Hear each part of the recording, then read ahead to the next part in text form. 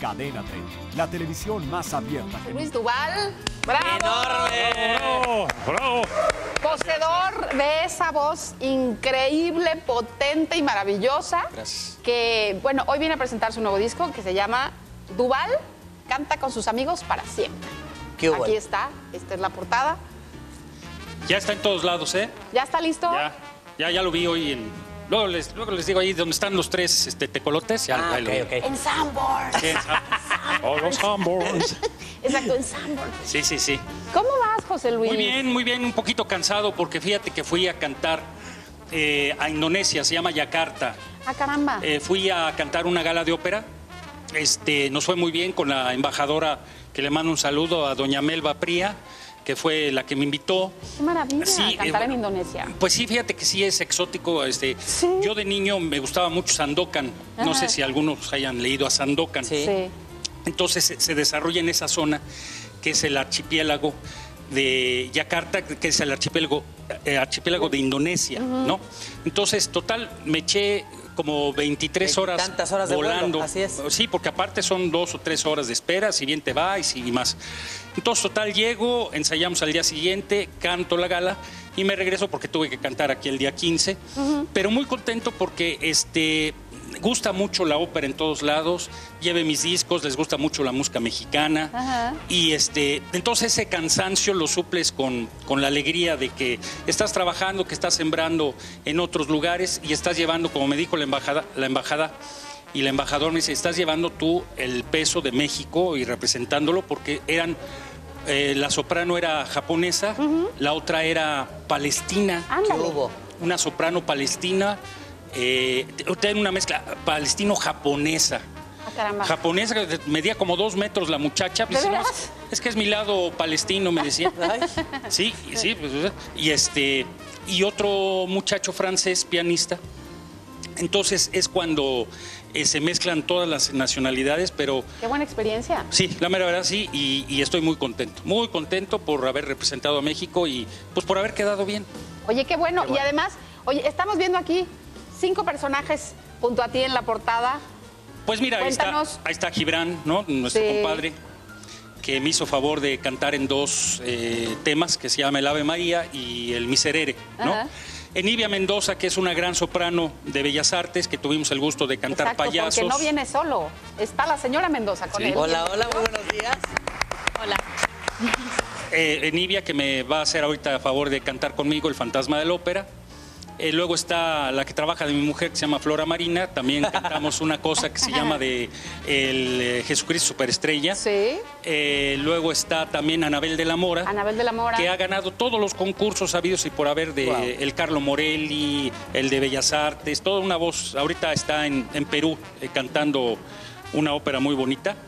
Eh, luego, este, ¿quién me falta? Claudia. Te falta Claudia Cota. Claudia Cota, Cota. Que también es otra soprano maravillosa. Eh, tuve el gusto de cantar con ella Rigoletto. Pero este disco tiene tres facetas. Broadway, en español, que yo soy el que hago las letras porque, bueno, creo que no lo hago mal, ¿no? Ay, Este, medio le sabes a los idiomas, ¿no? Cantas como en siete. Sí, pero ¿sabes qué, Tocayo? Que este, tratas de, dicen traductore, traditore, ¿no? El traductor es un traidor porque no se apega a la... Bueno, pues no, es Porque que es le pone de su imposible. cosecha, claro. Sí. Y luego, este, bueno, esa es Broadway.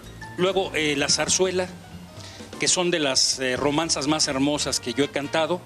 Y este, la canción napolitana, en en e- es canción napolitana, algunas en italiano y otras en napolitano. Wow. Cuando tuve yo la oportunidad de cantar en, en Nápoles, me entrenaron en el idioma napolitano, o sea, no es como otra cosa. es otra cosa, es como el catalán, no más que este cuando Italia era no era Italia, eran muchos reinos y cada reino tenía su idioma.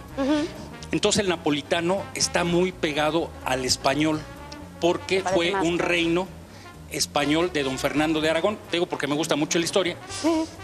Entonces tiene su chiste cantar canción napolitana, no es nada más este. No, tiene su chiste en, en la declinación de las vocales al final, ¿no? Entonces es un disco que, yo creo que lo quiero mucho, quiero mucho a, a- los que están involucrados, empezando por Enivia, que es una mujer que este, canta precioso. Ya algún día ¿Les, les trajiste su disco? algo. ¿Qué, qué, qué? Ah, bueno, ¿Sí? claro, se los Sí, das. sí, sí, se ¿Qué, qué- qué tema eligieron del Fantasma de la Ópera, que es una comedia musical muy amplia? Mira, yo tuve el gusto de cantarla con Morris Gilbert como actor invitado y no lo vuelvo a hacer porque es verdaderamente... Fíjate, son dos horas Sí. de maquillaje. O sea, te, te limpian, te ponen primero el monstruo, el apelón y todo eso, luego el monstruo y luego el, el galán. Entonces eran dos horas y otras dos horas y media. Y si eran dos funciones, pues era terrible, ¿no? Entonces terminas en calidad de bulto. Y ahí apliqué yo lo que me enseñaron mis maestros de actuación. ¿Qué fue? Nunca dejes que el personaje te coma. Hay gente, fíjate, María Douglas dicen que eh, se volvió un poquito loca después del tranvía llamado Deseo. Es que hay actores que son vivenciales. Se quedan ahí. Y no, un actor es el que sabe, el que sabe engañar. Actor, actor viene de, de histrión, histrión viene de hipócrita. Si tú dejas que el monstruo, en este caso el fantasma, el loco, se, se apodere de ti, te, te va a chupar toda la energía. Entonces un actor es el que sabe estar en control, no es el que este, dice, ay, es que soy vivencial. ah, ah". ¿No? Pero tampoco el de, Es verdad. te, te quiero mucho, este, mi amor, este, ¿cómo estás? Qué linda. que-". No, tampoco, no. Tienes que saber engañar. Por eso en italiano se llama el gran enganatore, el gran engañador. Entonces, este, ahí aprendí del fantasma, que es muy peligroso hacerlo porque te puede chupar la, chupa. la- la- La la- energía. la- la energía, el, el monstruo. ¿Podemos escucharlos en, Claro, en algún con. Sí, claro. Venga de ahí. Ya nos paramos. Pero si sentados no sale la voz. ¿Verdad? Sí. Mi, mi, mi. ¿Para allá o ahí? Ahí. ¿Allá mejor?